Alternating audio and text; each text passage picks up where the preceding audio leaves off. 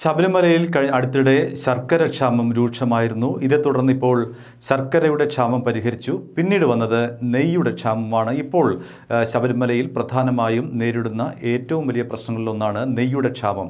അതിനും ഇപ്പോൾ താൽക്കാലികമായിട്ടുള്ള പരിഹാരമായിട്ടുണ്ട്.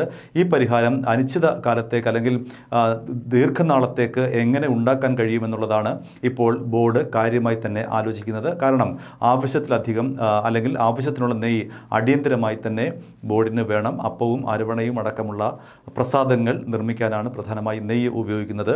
അതുകൊണ്ട് ഇനി വരുന്ന ദിവസങ്ങളിൽ ഇത്തരം ക്ഷാമം ഉണ്ടാകാതിരിക്കാനുള്ള കർശന നിലപാടിൽ തന്നെയാണ് ബോർഡ് എത്തി നിൽക്കുന്നത്. അതിന്റെ വിശദാംശങ്ങൾ നെയ്യ് പുറത്തു നിന്നും വാങ്ങേണ്ട ഗതികേടിലാണ് ഇപ്പോൾ ബോർഡ് എത്തി നിൽക്കുന്നത്. ക്ഷാമം രൂക്ഷമായതോടെ പതിനായിരം ലിറ്റർ നെയ്യ് പൊതുവിപണിയിൽ നിന്നും വാങ്ങി പ്രതിസന്ധി താൽക്കാലികമായി പരിഹരിച്ചിരിക്കുകയാണ്. ശബരിമല യുവതി പ്രവേശന വിധിയെ തുടർന്നുണ്ടായ പ്രതിസന്ധിയാണ് ഇത്തരത്തിൽ നെയ്യുടെ ക്ഷാമം ഉണ്ടാകാനുള്ള കാരണമെന്നാണ് വിലയിരുത്തപ്പെടുന്നത്. മുൻകാലങ്ങളെ അപേക്ഷിച്ച് കഴിഞ്ഞ രണ്ട് മണ്ഡല മകരവിളക്ക് കാലയളവിലായി തീർത്ഥാടകരുടെ വരവ് ഗണ്യമായി കുറഞ്ഞിരുന്നു.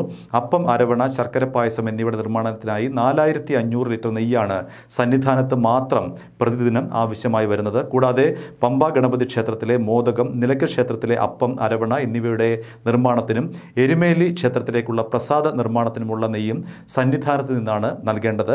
മുൻകാലങ്ങളിൽ ശ്രീകോവിൽ നിന്നും അയ്യായിരത്ത് അയ്യായിരം ലിറ്ററോളം നെയ്യ് പ്രതിദിനം ലഭിച്ചിരുന്ന സ്ഥാനത്ത് ഇപ്പോൾ മൂവായിരം ലിറ്റർ മാത്രമാണ് ലഭിക്കുന്നത്. ഇതാണ് നെയ്യ് പുറത്തുനിന്നും വാങ്ങാൻ ബോർഡിനെ നിർബന്ധിതമാക്കിയത്. കഴിഞ്ഞ തീർത്ഥാടന കാലത്തും മാസപൂജ കാലയളവിലും ലഭിച്ച നെയ്യ് ഉപയോഗിച്ചാണ് ഈ മണ്ഡലകാലത്തിന് മുന്നോടിയായുള്ള കരുതൽ ശേഖരമായി അരവണയും അപ്പവും നിർമ്മിച്ചത്. രണ്ടായിരത്തി പതിനഞ്ചിലെ മണ്ഡലകാലത്ത് നെയ്ക്ഷാമം അനുഭവപ്പെട്ടപ്പോഴും പൊതുവിപണിയിൽ നിന്ന് വാങ്ങിയാണ് ബോർഡ് പ്രതിസന്ധിയെ മറികടന്നത്. സമാനമായ അന്തരീക്ഷമാണ്. അതായത് രണ്ടായിരത്തി പതിനഞ്ചിലെ നെയ്ക്ഷാമത്തിന് സമാനമായിട്ടുള്ള അന്തരീക്ഷവും സാഹചര്യവുമാണ് ഇപ്പോൾ നിലനിൽക്കുന്നത്. ഏതായാലും ഒരു ദിവസം നാലായിരത്തി അഞ്ഞൂറ് ലിറ്ററാണ് നെയ്യ് വേണ്ടത്.